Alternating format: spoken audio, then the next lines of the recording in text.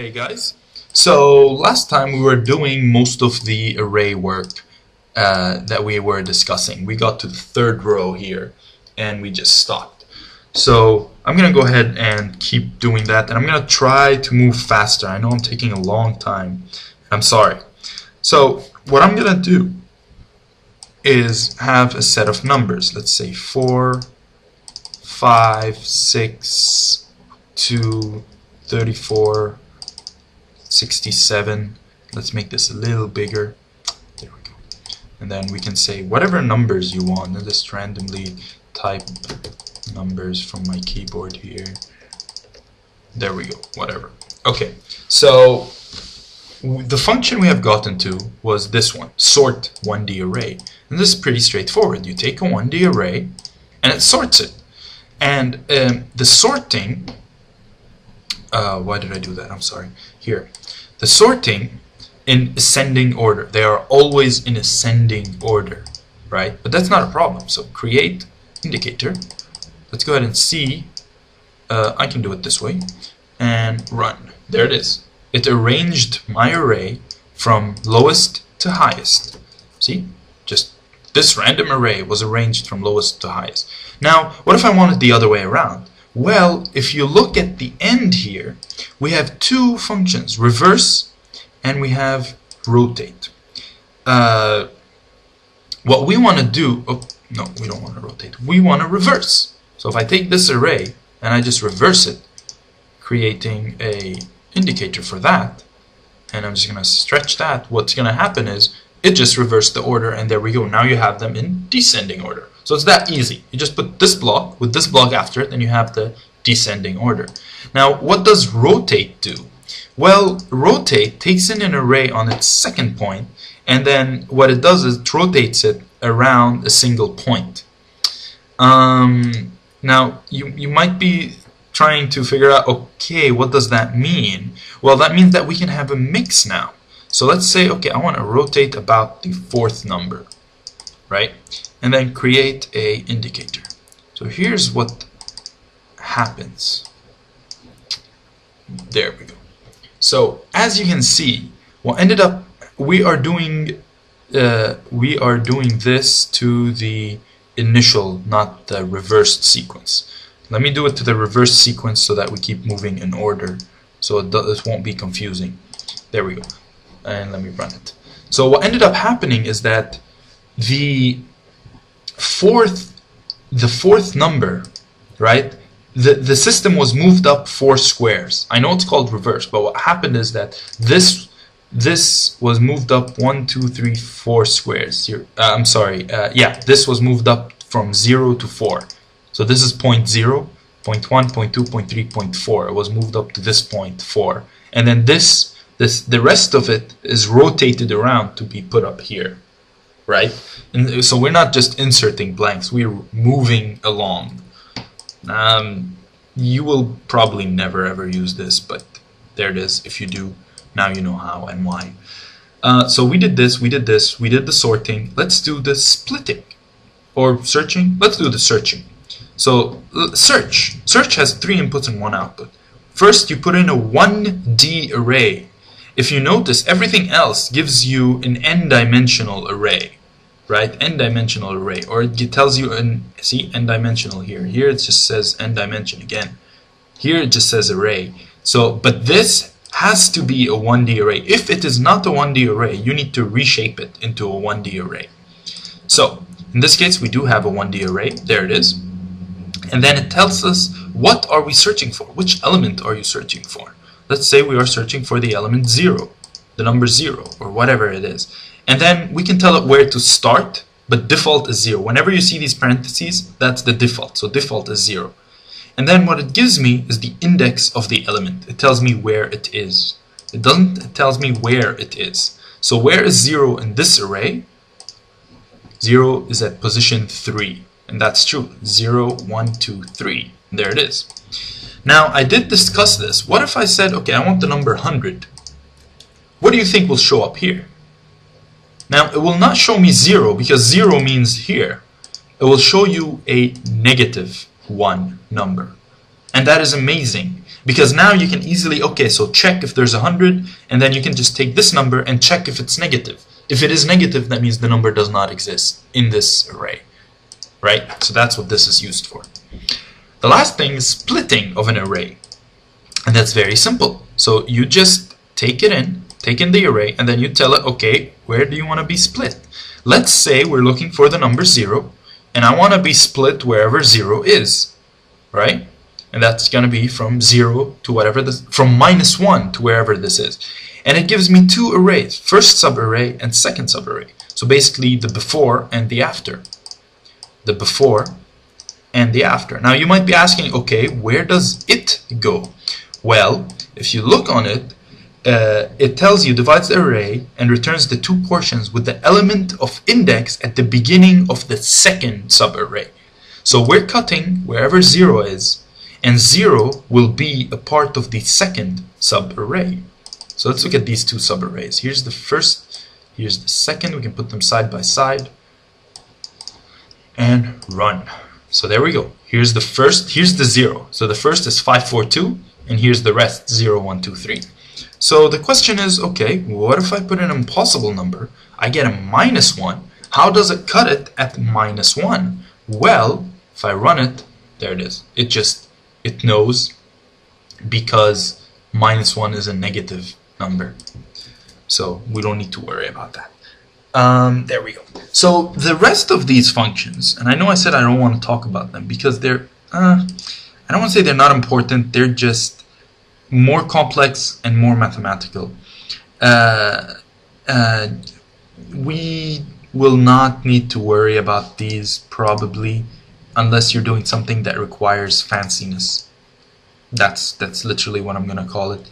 Um, but what it does, what they do is these these take in uh, an array and then what it does is that it takes the x-axis and it can basically kind of spread them apart. Uh, same thing here, but on the y-axis. Um, that goes into two-dimensional uh, arrays and uh, and you basically use this when dealing with graphs, not with an array as an array. Uh, this here puts arrays together in a special way or order and this breaks them apart at specific uh, uh, intervals and gives you those outputs. And then this one is uh, basically it rearranges it transposes. If, if, you've ever dealt with transposing what this does is it transposes uh, arrays. Uh, it's the same thing that is done in Excel basically. That's the best example I can give. Now we have not discussed clusters yet so I don't want to get uh, too far into it. But what a cluster is, as opposed to, let's do it, let's do it. Here's a cluster. Clusters are, hmm, okay, maybe I should keep this for a second video. Okay, let's not do clusters. Okay, so back to arrays. So as I said, other than this, you have a function in numeric here, which adds array elements together, and this one multiplies them together. So these will be important Uh, for example, adding array elements would be important in, for example, getting the average of an array, right? So let's take our first array and okay, let's go back here. Let's cut this at zero. Let's run it and let's go see. So we have 542, right? And I want to get the average. So how do I get the average of that? That's going to be here in our first substring. Well, it's not that hard. All you do is you add all the elements, right? Oh, add the elements right there. And then if I go to my arrays and I divide by the total size of this, and I just go to my numeric and do the division. So I divide the sum of them all by the total, and that gives me the average. Create indicator and run. The average is 3.666 for this one. Now what's the average for the second subarray? Well, that's not hard either. Instead of connecting this to this here, we can connect this to the second. This is the second. And run that. There you go. The average is 44.76 of all these numbers here. So this is another reason you use arrays, right? So it puts all these numbers easily accessible, and then you can manipulate as as you need. Um, but as I said, there's a lot of other things you could do. Now, a few things you could do with the math is I could take an array. I'm going to take the first array and I could just do add to this array. And now what I could add, I believe, uh, oh, I could add a number, number 1. What does this mean? Well, what this means is that it's going to add 1 to every single number. And I'm going to move there. I'm going to just deal with this uh, array. And I'll move it over here to the side so you can see what's going on. And then run that. And it just added 1 to each one of its, its numbers. Right? And it doesn't just have to be adding. I could multiply. What if I multiply this by a constant? Uh, uh, when I do it this way, as you can see, it gives me an array system here, and I don't want to do it by an array, so I have to force it to do it by a number. A number will do it for all of them, and if, if it was an array, it would multiply them uh, with the positions within the array. So you'd need to do some experiments always before working with it, but I'll show you. So here we multiplied by 2. 6 becomes 12, 5, 10, 3, 6. Now, what if I do something drastic? What if I did multiply by an array? So I'm going to multiply this by itself, which is basically squaring it, right? So I could do this this way, and then create an indicator. Well, what is that going to look like? Well, uh, 144, 136. 144, 136, multiplying each one by itself. You could also have used the square function right here, which is much easier to use. Right? And then just click, click, and there we go. Um, let's run this. Yeah. So there's many, many things you could do. Uh, there's a lot of functions that you should like um, that you should you should well, you'll never know how many things there are in here. There's so many things. So many things. Um, I actually have a question right now. What if I were to multiply here by an array? Oh, oh, okay. Let's show this here, here. What if I was to multiply this, right, by an array that is shorter than what it was? So if I come here, go to array, delete from array, now the typical setting for delete from array is delete the last because this is last number, length 1. Uh, and I want the array with the subset deleted, basically without, not with. Uh, and then do that. I believe, I know we already went over this, but I always do this. I always like double check my work, make sure, so yeah, so I want to multiply this by 1210 and see what happens. And I think that was the answer right there.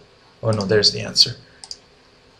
So there we go. I multiplied this by 1210 only without the 6 and what it does apparently it takes the smallest one right? It does it based on the smallest uh, the smallest uh, array right? So now you know. See this this is basically how I learn. I just go ahead try messing with it. Um, now, one thing I would like to talk about, which I haven't, is arrays that are not, be, as I said, arrays could be anything. In this case, they could be text, right? I could have text arrays, and I could just type text in here. Um, let me just do this to be one second here, uh, size to text, there we go there. So I can just type in text if I want in here. It's fine. You, you don't have to run the system based on only numbers. And then I can come here, create, oh, create an indicator, which will look just like a normal array, except that this is text. And the, the system would function the exact same way, right? The system can function just as I'm functioning in all these. Well, positions remain as positions, but you instead of using word instead of using numbers I can use words for like searching and doing things and this is replaced as you can see it looks like a chain kind of thing there's another thing to talk about. When you click on a wire, it tells you what this wire contains. So this is a 1D array of string. This is a 1D array of a long 32-bit integer. I haven't gotten into discussing the types of numbers, but this has imposes a limit from here to here.